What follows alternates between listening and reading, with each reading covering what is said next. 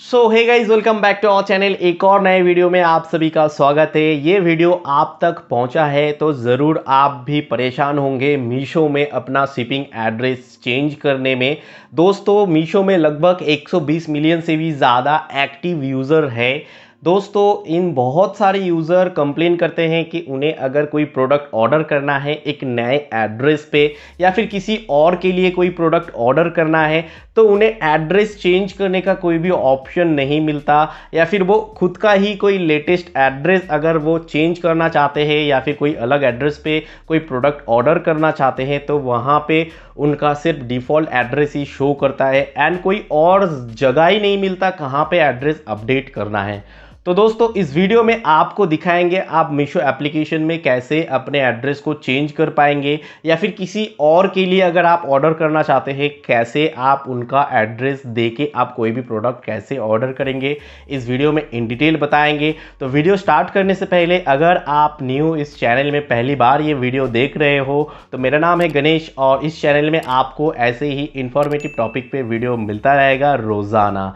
दोस्तों, कोई भी एप्लीकेशन के बारे में अगर मैं वीडियो बनाता हूँ तो मैं हमेशा रिकमेंड करता हूँ, आप पहले जाके प्ले स्टोर में ओपन करके आप उस एप्लीकेशन को अप टू डेट कर ले। तो यहाँ पे मैं मीशो एप्लीकेशन को ओपन कर लेता हूँ। आप जब यहाँ पे अकाउंट सेटिंग पे जाएँगे तो यहाँ पे कहीं पर भी आपको कोई भी एड्रेस अपडेट करने का कोई भी ऑप्शन नहीं मिलेगा। आप यहाँ पे सेटिंग में चले जाइए, यहाँ पे भी कुछ भी ऑप्शन नहीं मिलेगा। एंड यहाँ पे पेमेंट मेथड्स वगैरह है तो यहाँ पे कुछ भी आपको देखने को नहीं मिलेगा। यहाँ तक कि आप प्रोफ़ाइल सेटिंग में जाके भी यहाँ पे भी कुछ एड्रेस वगैरह एडिट करने का कोई भी ऑप्शन नहीं है। यानी कि दोस्तों, आप जब मीशो में आप अकाउंट ओपन करेंगे तभी आप जो एड्रेस दे पाएँगे, उसके बाद आप एड्रेस को अपडेट नहीं कर पाएँगे। अगर दोस्तों आपको कोई और एड्रेस पे या फिर किसी और के नाम पे अगर कोई प्रोडक्ट ऑर्डर करना है तो सिंपली आपको उस प्रोडक्ट को सिलेक्ट कर लेना है एंड आपको सिंपली उस प्रोडक्ट को बाय नाउ पे क्लिक करना होता है। बाय नाउ पे क्लिक करने के बाद आपको सिंपली यहाँ पे वगैरह जो सिलेक्ट करना होता है ऑर्डर वगैरह कंप्लीट जो डिलीवर्ड सिलेक्ट सेक्शन में आपको आ जाना है, जहाँ पे आप एड्रेस को सिलेक्ट करेंगे।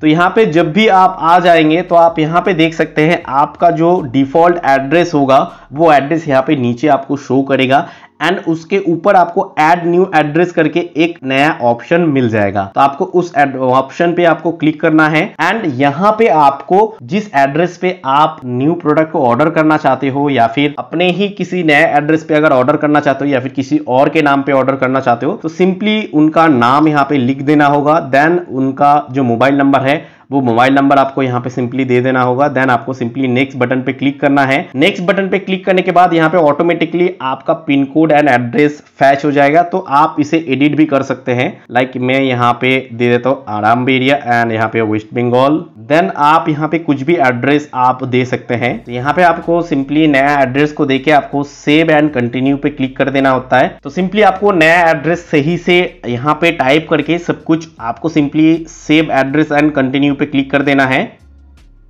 तो कंटिन्यू करने के बाद जो नया एड्रेस आपने दिया है, आप यहाँ पे देख सकते हैं।